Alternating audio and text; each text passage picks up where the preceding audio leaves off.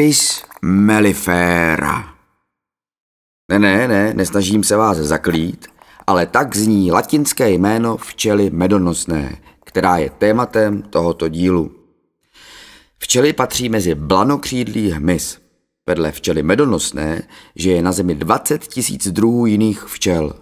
Většinou jsou to ale včely samotářky. Na včely se nepohlíží jako na jednotlivce, ale jako na jeden jediný živý superorganismus. Plástve je možné považovat za kostru, smyslové orgány, nervový systém, paměťový a imunitní systém. Dělnice reprezentují tělesné orgány potřebné pro údržbu a výživu organismu. Královna odpovídá samičím pohlavním orgánům a trubci samčím.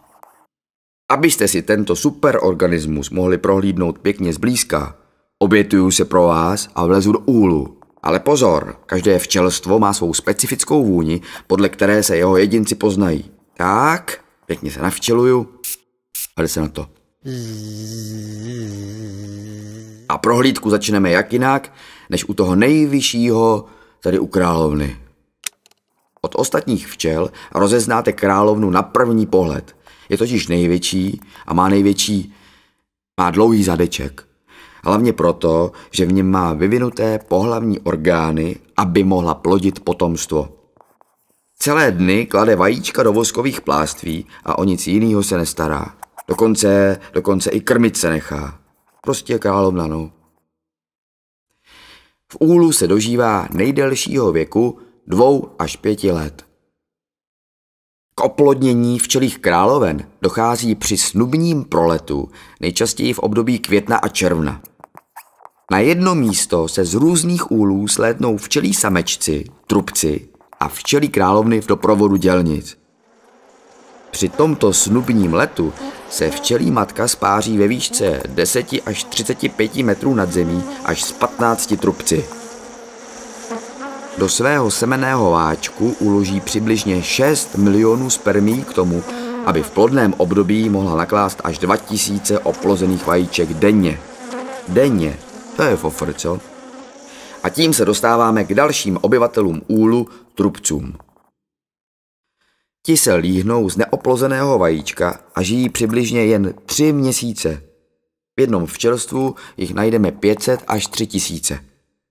Trubec nemá žihadlo a k neveselému osudu trubců patří, že sameček po aktu páření s královnou hyne, protože jeho pohlavní orgány zůstanou přichyceny na zadečku včelí královny.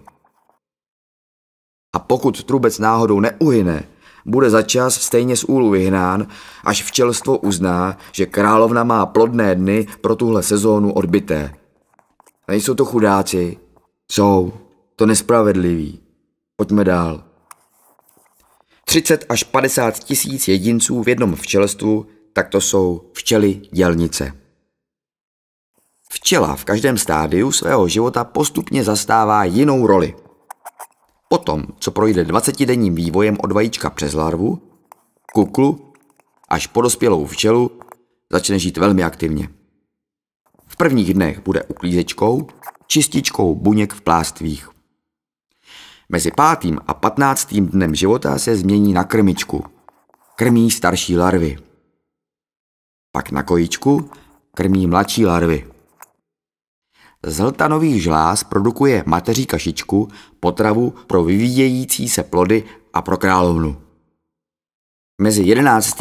a 20. dnem života přestanou hltanové žlázy fungovat a naopak se stává producentkou vosku, čehož využije při stavbě a opravách pláství. Včely medonosné produkují materiál na stavbu plástů sami, což je mezi živočichy ojedinělé. Po 20. dnu se stává skladnicí. Od přiletajících včel přebírá pil a nektar a uskladňuje jej v úlu. Poté se stává včelou klimatizující. Svými křídly pomáhá větrat a udržovat stále a příjemné klima v úlu. Po praxi strážkyně česna se ale včela konečně stává tou, se kterou se většina z vás setkává v létě, totiž včelou létavkou. tak vidíte, jak dlouhou profesní cestu musí včela urazit, než může konečně vyletět z úlu ven. Létavka absolvuje za den 3 až 10 výletů a dosahuje rychlosti asi 30 km za hodinu. V takto intenzivním pracovním nasazení dokáže sbírat po dobu 10 až 20 dnů. Pak naše včela umírá.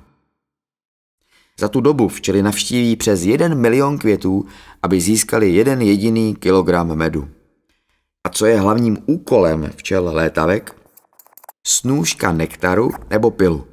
A důsledkem toho dojde i k opilení květů, který mi přijde docela důležitý, protože bez něj by lidstvo zhruba do tří let vyhynulo.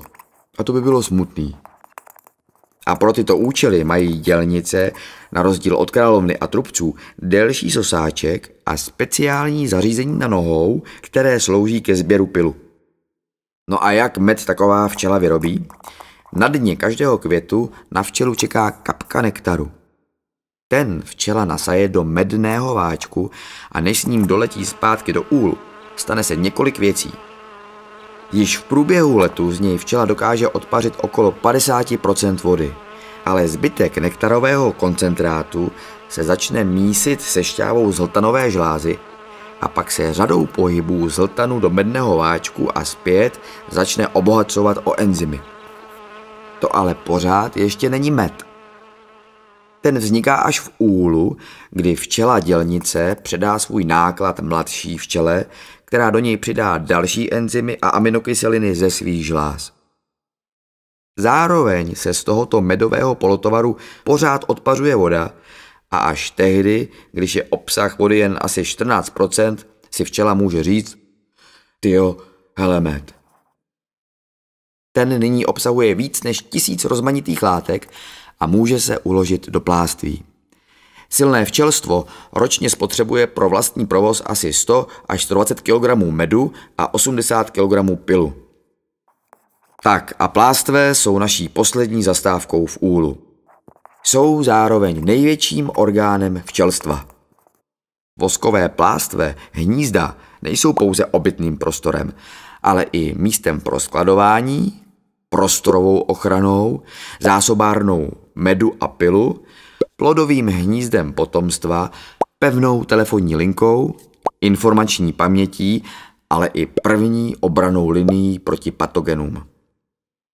My lidé využíváme kromě vosku a medu i mateří kašičku, která má regenerační a omlazující účinky, zároveň vyživuje a posiluje organismus a zvyšuje jeho obrany schopnost.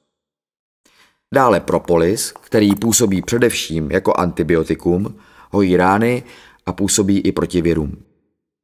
A v neposlední řadě i věc, kterou bych opravdu nečekal. Včelí jed. Ten vzniká v jedové žláze a následně se ukládá v jedovém váčku v množství až 0,26 mg.